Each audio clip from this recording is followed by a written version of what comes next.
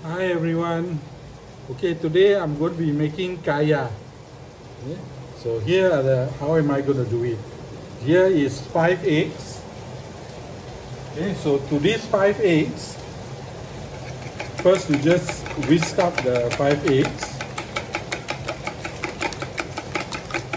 Okay, after you whisk up the five eggs, add in 280 ml of thick coconut milk.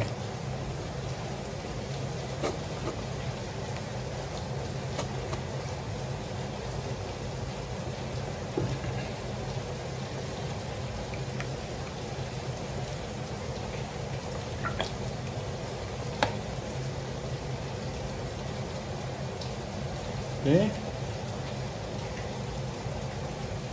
And then I'm adding pandan Emulco. Now if you don't have pandan Emulco, you can just uh, get about three to five pandan leaves. Just beat it up with uh, uh, about two to three tablespoons of water and then strain it. Then you will get your pandan extract. Okay, mix that in.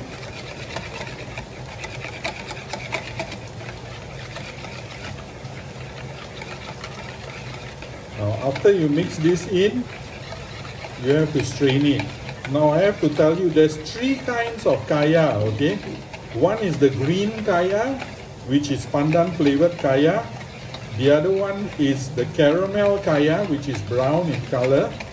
And the other one, which is the egg kaya, which is yellow in color. Okay? All the methods to make is very, very similar. Okay? So after you beat this up nicely, strain it into a pot. Okay, so here I have a pot with the strainer. So just pour all this through so that there's no residue of eggs in there. Because sometimes the egg whites just don't uh, break up well enough. Okay, so once you've done this, once you strain it, now you can add in your sugar. This is 250 grams of just white sugar, plain white sugar. Okay. Add this in. Just give it a little mix. And then you are going to double boil this until it becomes kaya. So just heat up some water first and get ready to double boil this. Okay, so bring some water to a boil and then just put it onto and just keep mixing it until it thickens. It will take about 15 minutes. Okay, it will start to thicken. Just keep stirring just for 15 minutes. Now, uh, I mentioned to you earlier about the pandan juice. Now, you take about 3 to 5 pandan leaves, add about 2 to 3 tablespoons of water, and then you grind it. Okay?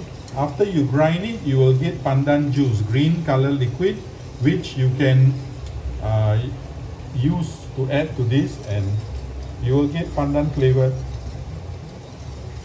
kaya. Okay.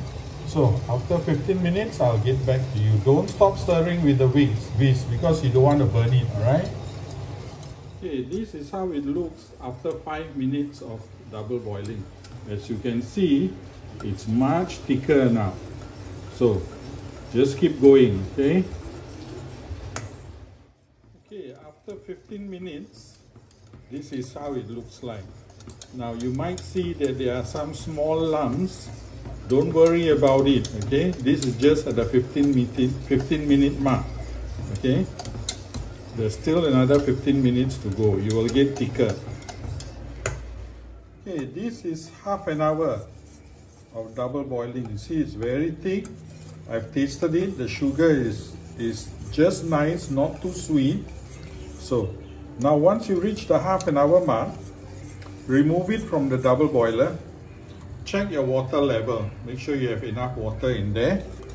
Turn your fire to the lowest, okay, to the lowest, and then put it on top, and then you're going to cook this for one hour. So as I mentioned, put it on the on the double boiler, get a cover, wrap it with a cloth, and cover it. Cover it.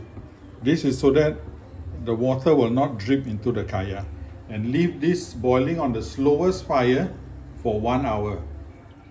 So with about five minutes left of your double boiling of the kaya, take about two tablespoons of uh, plain white sugar and cook it over a fire to make a caramel. Okay, now I will show you as it get to become a caramel, right? Okay, as you can see, it's melting and it's turning dark. So just cook it until it's dark enough to your liking and then turn it off. Okay, uh, this is almost there. Uh, once it starts bubbling, okay, turn it off. Okay, so just add it to the your cooked pandan or your cooked kaya already and mix it all up.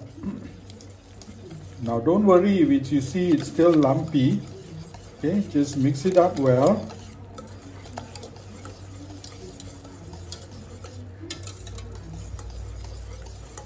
After it's mixed up well, you see the color has turned slightly darker than green. Okay, this is how you want your kaya to be. Okay, once this is done, just set it aside to cool completely.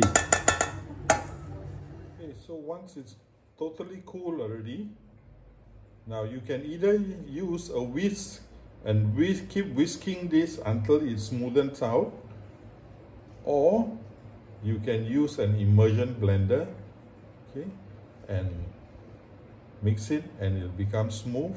Or you can put this whole thing into a fruit processor and grind it all up and it'll become smooth. So I'm using an immersion blender okay? So So,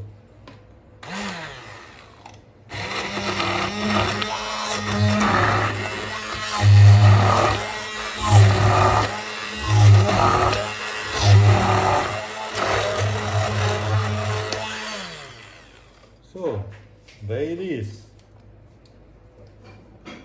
So don't forget to lick this. so now all you need to do is just put this into a container or put it into bottles. Then you can store it in the fridge. Yeah, you can store it for quite long. You see it's nice and shiny. Okay? And uh, because of the caramel sugar you add in, the egg flavor will not be strong anymore. Okay, it will taste the pandan flavor and coconut flavor more. Okay, so that's about it. This is how you make uh, kaya. Good luck. Give it a try. Bye everyone.